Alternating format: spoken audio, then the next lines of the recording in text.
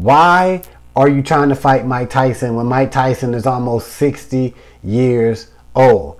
So it was just announced that Jake Paul will be fighting Iron Mike Tyson in July on Netflix. Now, a lot of people, especially in the boxing and MMA world, they shitting on Jake Paul. They think like this is the biggest dick move in the history of sports. A lot of people like Jake Paul. Why are you trying to fight Mike Tyson when Mike Tyson is almost 60 years old? Now, with that being said, like this is going to be a huge fight from a financial standpoint. All right, I mean it's Netflix's first live stream uh, boxing event.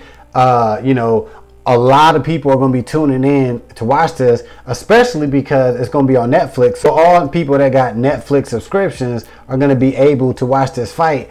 And a lot of people who don't necessarily have Netflix right now, they're probably going to get Netflix just to watch this fight. So the question is, is Jake Paul an asshole or is he a marketing genius?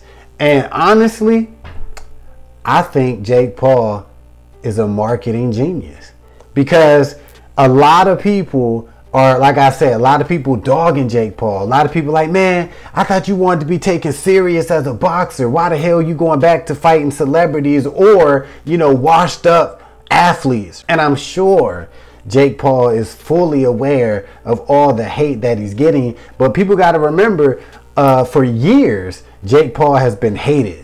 And a lot of people still don't like Jake Paul to this day. But I mean, like five, six years ago, a lot of people did not like Jake Paul. So he's actually used to the hate. And I think he's in a position right now to be like, yo, any attention is good attention. He's on his his business game. He's really working his entrepreneurial spirit. I mean, he's really working his entrepreneur game because no matter what people say, people that, that hate him, people that love him, from a financial standpoint, man, he's going to make a shit ton of money. I would not be surprised if Jake Paul make anywhere from 50 to 100 million dollars off of this fight. So it makes you think if you Jake Paul and you could make this amount of money, you know what I mean? Like, why wouldn't you do it? Especially, I'm sure Jake Paul probably feels like he can beat Mike Tyson. Despite what people think,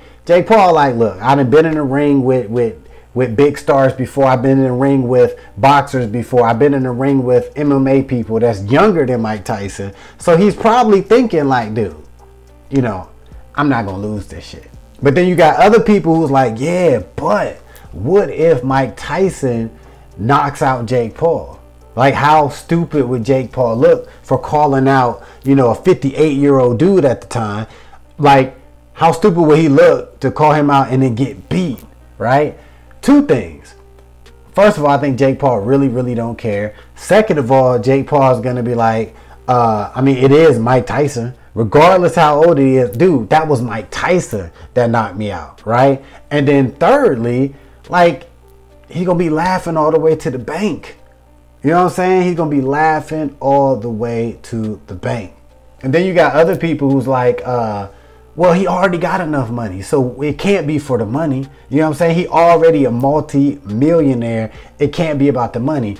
Well, I feel like it to a degree it is. Because look at all these successful people, you know, billionaires, multimillionaires, whatever, they always making moves right? They always seemingly trying to get more and more money, and I think that's what Jake Paul at. He's probably in a position to be like, I mean, the more money, the better. Look at Logan Paul. Now Logan Paul making a shit ton of money off his Prime Energy drink, but yeah, he's still in the WWE, and I'm sure he don't make as much money in WWE as he does off his Prime Energy drink. So when it comes to Jake Paul, I do think he genuinely wants to fight Mike Tyson. He probably feels like it's some sort of a challenge, but of course, of course, it's about the money. So I got a couple quick questions. All right. The first one is, are you going to watch Tyson versus Jake Paul? And the second question is, who you think gonna win?